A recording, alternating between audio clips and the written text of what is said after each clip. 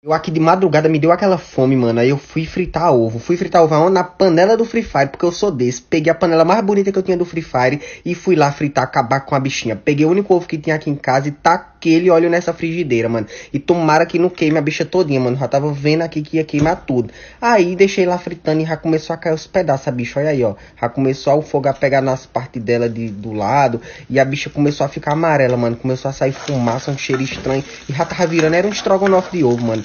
Tava um cheiro de tinta misturado com ovo. Olha aí como que ficou, gente. Ficou podre, horrível, meu Deus. Ah, deixa eu te falar uma coisa. Você gosta de esportes? Lá na CBS tem uma categoria de jogos esportivos, onde você pode apostar na sua seleção favorita da Copa. Então vai lá que é muito bacana. O link tá na bio.